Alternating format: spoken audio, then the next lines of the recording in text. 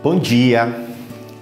Hoje nós somos convidados a viver mais um, e assim como todos os dias, um momento da fé. A fé, ela vai crescendo à medida que a gente cultiva a nossa espiritualidade. A espiritualidade é sempre um sopro, é sempre um ar.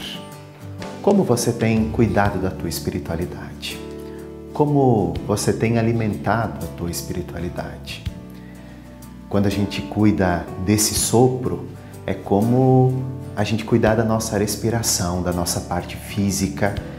A espiritualidade é cuidar desse sopro de Deus.